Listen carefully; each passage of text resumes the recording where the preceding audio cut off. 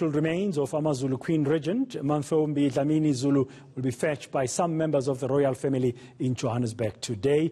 The Queen passed away in Milpark Hospital last week. The cause of her death remains unclear, while post-mortem results are pending, expected in about two weeks' time. Meanwhile, Eswatini's King Mswati III has sent a delegation to South Africa to help prepare for the burial of the Queen. Senior reporter Spamandla Goge is at Kwakhangela Mankengane Royal Palace in KwaNongoma in KwaZulu-Natal and joining us now on the midday view. Spamandla, earlier when we crossed to you, we saw the convoy beginning to leave uh, the palace, making its way to Johannesburg. What's the latest update you can give us this hour? Good afternoon. Afternoon to you. Let me tell you that that convoy is en route to Johannesburg. This is what we know so far. So tomorrow morning, the convoy will make its way back to KwaZulu Natal via Mpumalanga. So from Gauteng, they will go via Mpumalanga, then to Opongolo to Nongoma. So that should make them to be here in the afternoon. All we know is that at least by sunset tomorrow, the body must have arrived at Wakangela Mankengane Royal Palace. Wakangela is one of the six palaces of the late King Goodwill Zwelithini Kabhekuzulu. You know, you have other palaces, including uh, Gwaketo Mtandayo, where everything was done when the king departed. Now, that is his father's palace. When he took over the throne in 1971, he built a house there as he is known as Isilo Sasenaleni. You also have another palace in Nyogeni. You have another palace Linduzulu, Dlamahlahla. There is also Ondeni. So, but right now we are at Gwakangela Mankengane. Let me tell you that I've spotted a very interesting man in the Zulu history and the Zulu royal family. His name is Buzetsheni Mdletshe. He is known as the praise singer. He's been with the late king for years. But I'll tell you why he matters. This is the man, as my colleague Nkanyiso Mdlaloso will show you now, Ubabu Buzetsheni Mdletshe.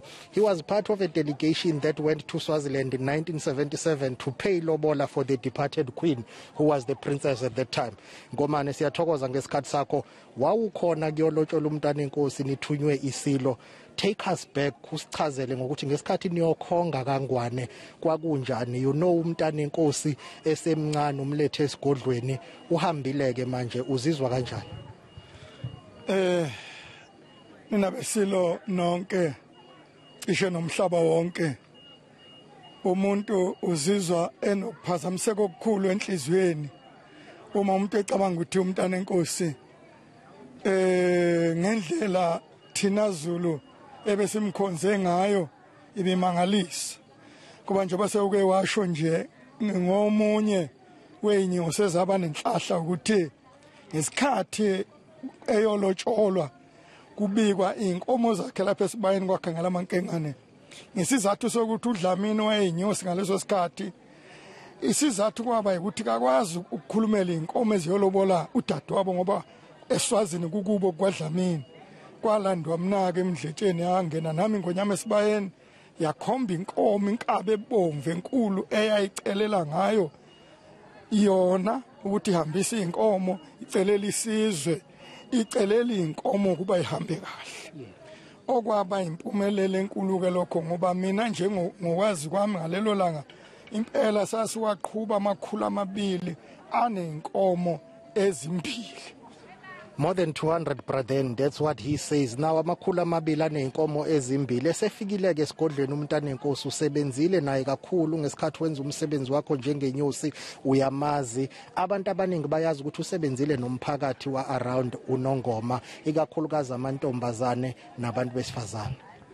Eh bekungekho lokho kuphela. Umntana enkosi wafika lapha wabona nawe ukuthi uzelwe bukhosini bakwangwana uzelwe ebukhosini obabusiseka ngoba ingonyama emzalayo eh yayintanga yengonyama uSolomon lapha kithi kwaZulu yakhothama yakithi.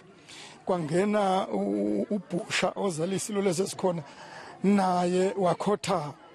Manje ke bona babe lokhu bephethe intambo lokhu ikhonjwe ingonyama eyodwa ukubusisa kwabo kwakuyilokho befundiswa ngobukhosi bebancane ufike lapho wayibukhosi waqinisa ubukhosi waqinisa isizwe ngobukhosi You also met the late king of Eswatini Ngwenyama Usobhuza. Bambalwa abantu ababona iNgwenyama Usobhuza. Usichazele ngalelo langa niyolobola uhlangana neNgwenyama Usobhuza. mhla sesiyolobola ke kwathiwa ekuseni mina kufanele ngihambise umntana enkosi ayobingelela esigodlweni kwalobaba yathi ke ngonyama ngikhuluma namakhosi ngathi uma ngithi njeke egeyithini lakhona esangweni ngathi wena wandlovu wena wandlovu bayeda inkunzi elikhanda libanza kwamathathela wathi mayezwa lokhu umuntu omdala waphuma nje sitezi sakhe wathi nje evulandi kulunguza wayesebuyela emva. Kwasho ukuthi phela iy'thombe kade siqale siyibona nasebhodaketi ngabona ukuthi yiyo. Kwathi ke sesingena nenkomo ke isihleli laphaya ke ngayibona kudede. Okokugcina engakujabulelayo kwaba ukuthi umzi lo kuthiwa kukwalozitha wathi ungakhiwa waqedwa ingonyama yayihamba nami iyowubuka no- nomntana enkosi. Okwaba yindle enkulu esayihamba iy'nsuku ey'ntathu. Ngobani siyathokoza ngesikhathi sakho. That is ubaba ubuze ubuzetsheni Mdletshe. He is the praise singer. He worked with the late Amazulu King Goodwill Zwelithini Kabhekuzulu. He was part of the delegation that went to Swaziland to pay ilobola for the late Queen Regent of Amazulu. Now, earlier, Elias Pamandla, uh, you also managed to speak then from the member of the delegation that King Mswati III has dispatched to KwaZulu-Natal for the burial of the Queen Regent, and that's Prince Kuduza Dlamini. Indeed, and he says the entire Eswatini kingdom is devastated. They are sad, they are shocked. They would have loved to spend more time with Umtane Nkosi, but he is also part of that senior delegation from Eswatini, together with the Zulu royal family members delegation that has gone to Johannesburg. Let's listen to him explaining about how they received the news of the passing of Umtane Nkosi. We don't have much to say except that you know we are deeply saddened uh, by the loss of our sister, uh, who is now the Queen Regent, who has been the Queen Regent uh, for the Zulu for the Zulu nation. We were we were hoping that we would still be with her, so he could be able to take her to nurture the future king of the Zulus. So we just leave everything unto the hands of God, who knows better than all of us what the future holds. But the Swazis, the whole Swazi people, His Majesty, the Indlovukazi, the entire Swazi nation, they are deeply saddened. Everywhere you go, people say, oh, it happened much too early we do understand we all we all we all gonna go one day, but we were we are hoping that we will still be having her at least for a couple of years. Spamandla, uh, earlier today, uh, when we crossed to you about an hour ago, we also saw Umtwana Pindangene, the traditional Zulu Prime Minister, Prince Mangosuthu Buthelezi, but there have been government delegations there as well today, or ministers from, from the South African government paying their respects, the likes of Ukabazela, Dr. Zweli Mkhize. Indeed, and uh, it was to be expected that Dr. Zweli Mkhize will come here to pay his respects. When he was the Premier of KwaZulu-Natal, he worked very well with the Royal House, but he had a special relationship with the late King Kutu Zwelithini Kabhekuzulu. When he was in hospital, of course, they have, if my memory serves me well, they met somewhere around the early 80s, 1980 or 1979. That's when their friendship and relationship grew. But when the king was in hospital, he was one of those medical personnel who will go inside to monitor on the king. But he had, had a very special relationship with the Zulu royal family, and he knew Umtane Nkosi. But all of them, those who have come here, they are urging the royal family members to unite, stop the public spats. Listen to Dr. Zweli Mkhize. We worked very closely with His Majesty the King. We worked with the Queens, uh, particularly dealing with issues of promoting, uh, you know, uh, abstinence and fighting against HIV and AIDS, and promoting various programs to bring people together. Uh, you know, so it was, you know, there, was a lot of cultural activities that uh, the Queen was involved in. Uh, we were very saddened by her departure. We have obviously seen that there are uh, quite a number of uh, public issues that are being discussed. Our appeal would be for uh, both, uh, you know, the members of the royal family, uh, uh, as well as the all those who are in the leadership to come together. We have just been sharing that with uh, uh, Shenge Umtwana Pindangene, uh, that it would be really helpful if, uh, together with the members of the royal family, everyone could come together to discuss the issues.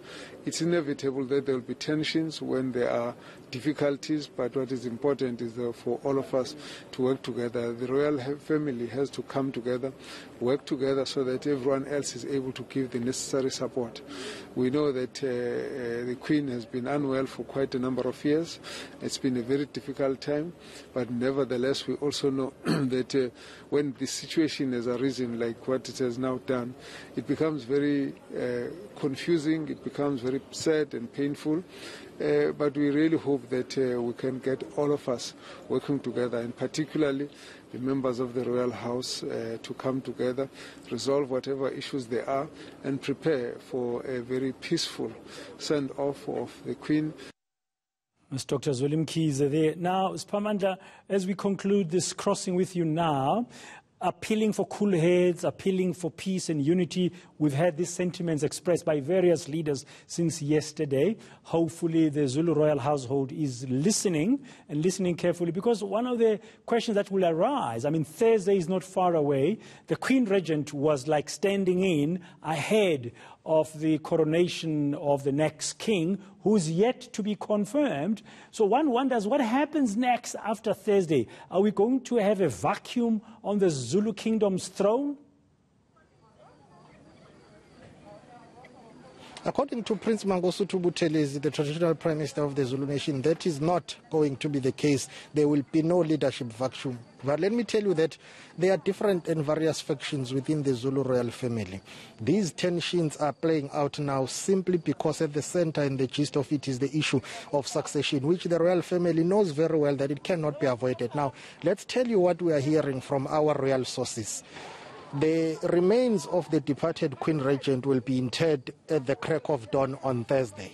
So from Thursday morning to Friday, the following day, there will be some few hours whereby royal family members will gather together, have a meeting, so that on Friday there will be that official funeral, which we expect that will be a provincial funeral. But we are still waiting for the confirmation from the Premier of KwaZulu-Natal, Sihle having written to the presidency requesting that she be granted that special official provincial funeral.